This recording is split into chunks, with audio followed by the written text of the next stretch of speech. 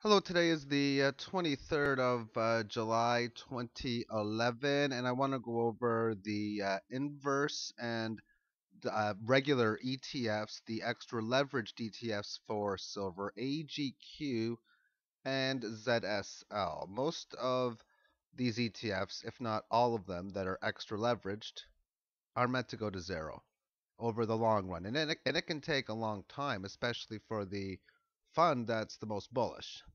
And the reason for this is because of the way they are moved on a day by day basis, percentage wise. Therefore, if there's a day where there's a 10% move in silver, let's assume it's up to 10% uh, in one day, big day, you would expect the double fund, the AGQ, to gain 20%. And you'd oftentimes see the ZSL lose about 20%. But the problem with this is if a market goes from 100 and then goes up 20%, that would take it to 120. Yet if a market from 120 were to go down 20%, well, it would lose 24, which would take it below 100, meaning for every 10% up move is the same as 9.09% down. Therefore, when you're having a day where you see one market's up 3.6 and the other one's down 3.63, not only was the negative higher than the positive, but it's supposed to be lower. But it's supposed to be, or maybe if it was not to go to zero, that's how it would be, but that's not how it is. Therefore, if you were to short each individual one, this is a ZSL on July the 30th, 2009. You short 369.60, you do it at the open, and you get out at the close, which is 368. You would have gained $1.60 on this one. Small percentage gains, and on the AGQ, which is much higher than this now, when it opened at uh, $39, it closed at 39.17. You would have lost on this particular short. So let's assume this is something you're trying to do. You put half of your bankroll on one of the shorts, and you put the other half on another. Well, this is calculated how much each one of these would make. This one represents how much you would make on shorting the ZSL and how much you would make on shorting the AGQ. Most of the times it's going to result in higher trades. If you have a bankroll of $20,000 and it costs you absolutely nothing to make the trade, then this would be your chart. You'd have some small gains going up about 22.3%. However, there is obviously commissions when we're dealing within these markets. A lot of times they'll talk about the, you'll hear Ameritrade or any of these other people talking about having maybe seven ninety nine trades or seven dollar trades for that matter. If it costs seven dollars per trade, it would really cost you four times per day. You'd have to have two entry points in the morning at 9:30 and then again at 4. So that would work out to $28 a day. And now all of a sudden you have put yourself in a downtrend because you can't handle the trades if the trades cost even the, the 9.99 that are so common then the downtrend would even continue in fact you're pretty much down to zero and if you had the old standard 29.99 deals well you'd now be in the negatives meaning you can't bet 20 cents when you're at 20 cents for a stock, yet you'd still be paying $30 a trade. It, doesn't work out that way. However, if you had some larger fiat coin, let's assume a million dollars, and you were still paying $29.99, then the net result would be well, you'd be losing. You'd still be down. You'd actually be down 47% right now by betting a with a million dollars and then $30 a trade. Ouch. How about 19? Well, you'd still be down, down 22%. Okay, how about uh, $9 a trade? Well, it looks, you can see a nice looking movement. It went up a bit, then it went down, and well, now it's starting to go back up a bit. You're up 1.49% right now, still, that's with a million dollars. I guess it's pretty hard to do. And I guess if you had maybe a hundred million dollars,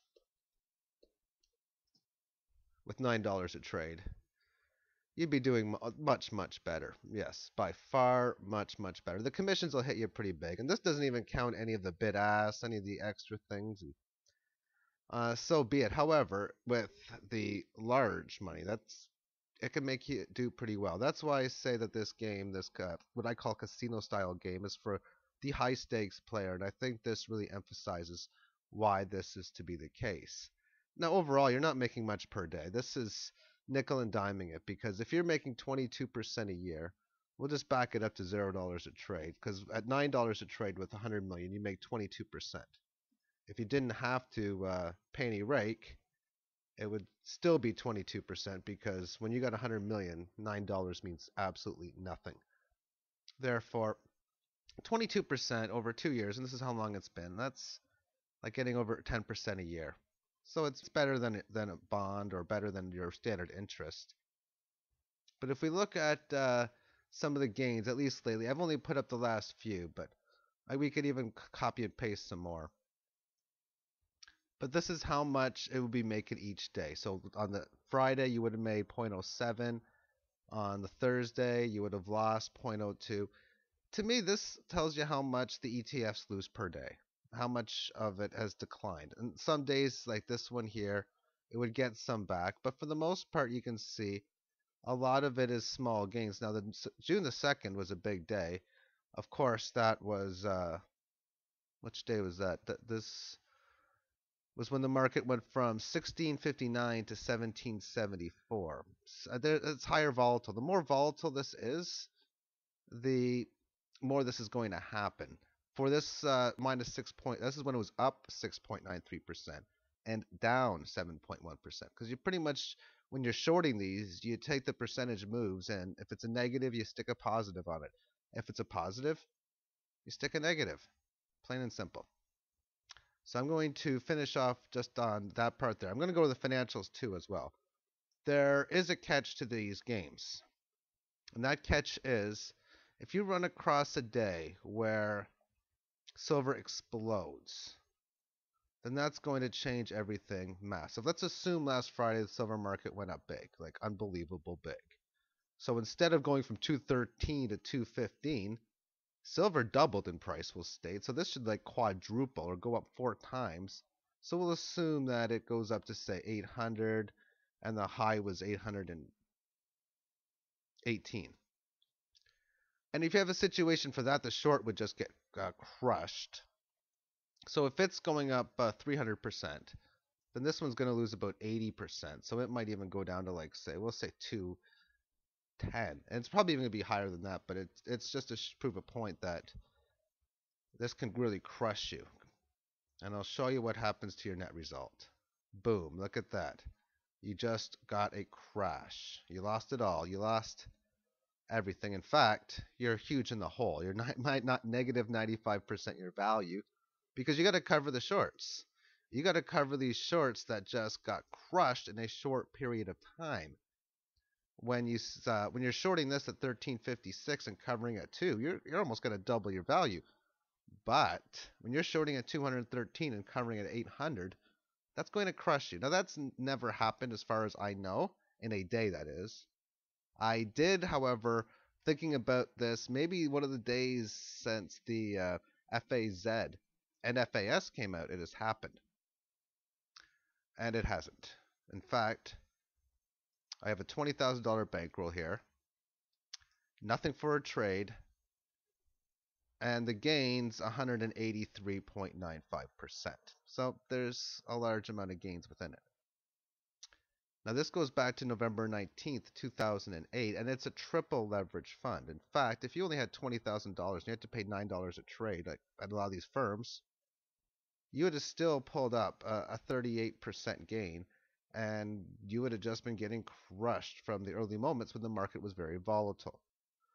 If, uh, for example, we had that 100,000 we were talking about before, you'd have a little bit more to play within it Therefore, with 155% gain, you would have went up and then went sideways. So we'll just assume that you have a million dollars and you pay $5 a trade.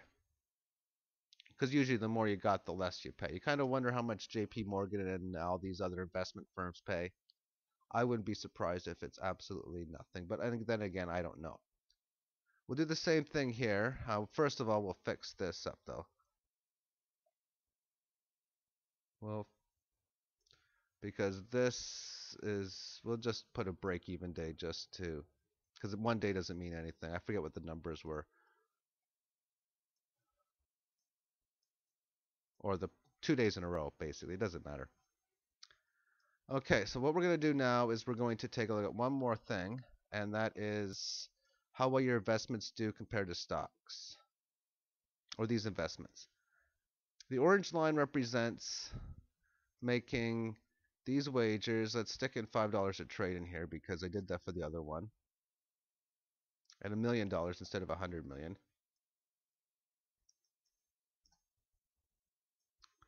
We'll now move this on to the uh, chart again. Like you say, not nothing too big. Barely overperforming the, the stock market is. However, if we do the same thing, well, the stock market in orange here, uh, not much of a similarity there, to say the least. And finally, two things. One, to protect yourself against those like major days, I guess, where markets go up big, and uh, you don't want to lose on the margin calls. Uh, once you're like down 10, 15%, maybe get out and get back in type thing. That's one way. And then again, the second thing, this is part of the derivative market, and in my opinion, and that's it, all it is, my opinion, calculated though, a ticking time bomb. Thank you for watching and take care.